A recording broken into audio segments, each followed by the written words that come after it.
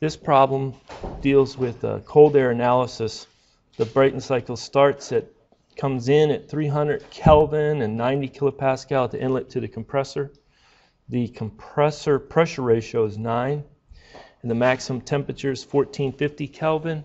And perform a cold air standard analysis using that value of specific heat, C sub V and C sub P, which gives us a K of 1.4.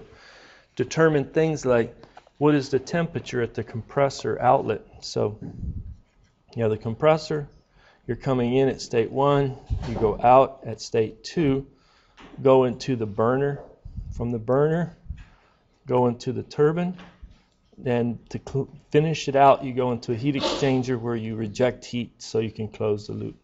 So state 1, state 2, state 3, state 4. Four components, compressor, burner, burner, turbine, heat exchanger. And if you want, you can go, okay, this is Q in to the burner. This is Q out in that heat exchanger. This is work of the turbine out and work of the compressor in. And then you should be able to sketch it on different property diagrams. But what are they asking for? For part A, the temperature at the compressor outlet, that's T2. The peak pressure, that's P2, which is also equal to P3 because it's constant pressure through the burner. What is the temperature at the turbine outlet? That's T4. What is the heat addition in the burner? Q in.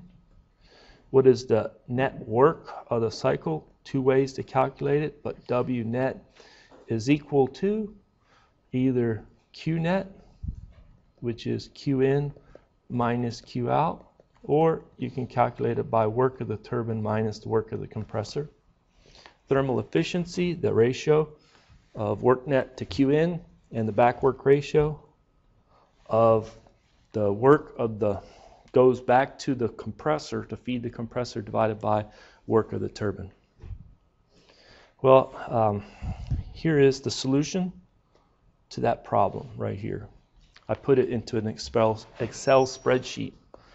Does the format of the Excel spreadsheet look familiar to you? So uh, these are like input 9 for the pressure ratio, C sub V, C sub P, R is a ratio, C sub P over C sub V, as well as K. I mean, sorry, R is C sub P minus C sub V, is K is the ratio. Put in the initial pressure and temperature. I, I bold it to help me see, okay, those are specified, as well as the maximum temperature at state 3.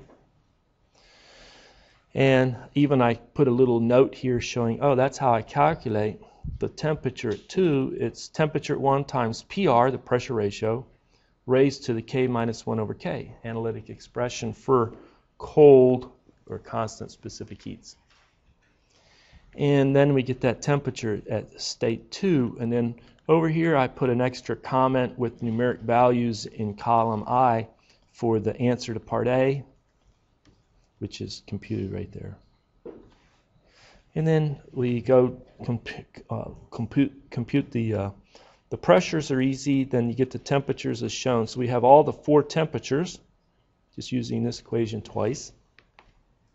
And then you can compute the work and the heat transfers in each of the components. So the heat transfer in the compressor, nothing, but the work compressor is this. How do I calculate this right there? The work going in from 1 to 2 into the compressor right here. Is that equal to H2 minus H1?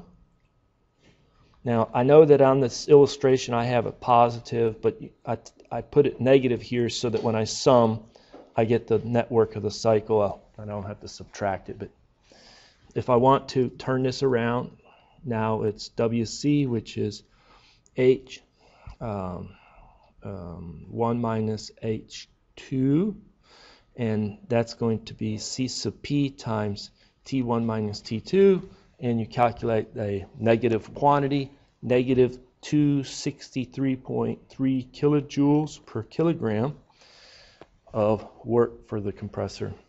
How about the heat transfer in the burner between 2 and 3? Well, that's a positive in That's equal to C sub P T3 minus T2. And the work of the turbine positive out, C sub P T3 minus T4. And likewise for the heat exchanger out, I put in, keep a negative sign there. And so this, um, to be consistent, get rid of that, put it in, and that's equal to C sub P T um, 1 minus T4. That'll give a negative quantity of negative 476. Add the Q's so we get the Q of the cycle and add the W's, get the work of the cycle, double check that they're the same. They are. Double thumbs up, it looks good, so that checks. And then we compute the thermal efficiency. And you can even compare it with the analytic expression that's derived in the textbook. There's the analytic expression for the Brayton cycle um, thermal efficiency, assuming a cold air standard analysis. It's a function only of the pressure ratio and the K.